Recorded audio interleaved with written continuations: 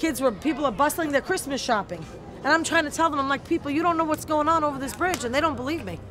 They're like, it's all good, everything's good, everything's gonna be okay. No.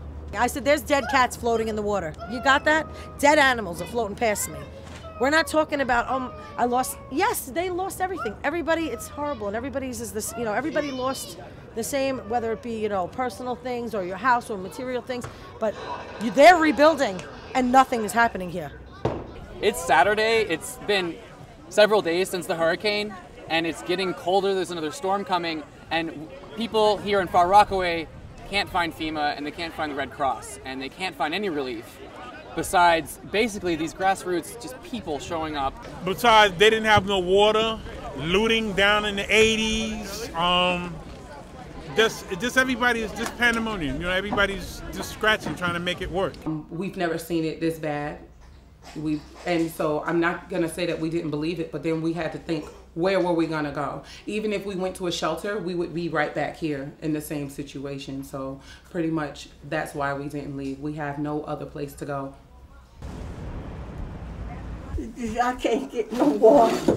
Look at here, thing full. Uh, this broken. They have to come here and do something. I can't do it.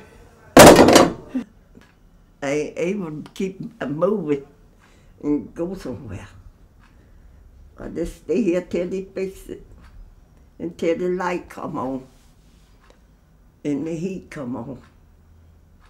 That's all I can do. Everything's gone. Everything. I'm, I borrowed these are my neighbors. I have to give them back to them. We're sleeping actually on paper right now and a couple of sheets that he had that's on the floor actually. Paper and Yeah, because all the couches and everything were wet, so we threw all that out. We lost the couches, dishes, all of that. At night, it's pitch black, and everybody's nervous. You, you're scared to open your door. You're scared, you know. You just it's just terrible. At night is real bad, real bad. No light. We need some sort of emergency lighting. Even if you- back up, back up. Gratis, gratis, gratis. Free food on here. I mean, get it?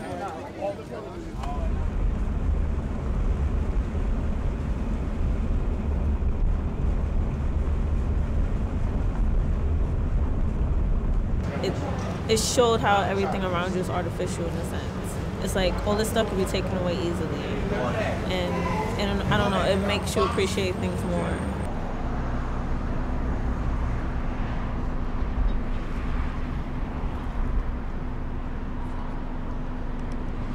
The people that are really bad off maybe are the people that are stuck in the big buildings with no elevator service, and they're seniors and they can't get down. You know what I mean? So you have to depend on your neighbor to bring you things. But look at the camaraderie. Look at the look at the friendship.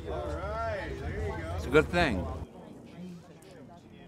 No, I was very frightened. I told the dog, "I'll see you up there in heaven. We'll be swimming together."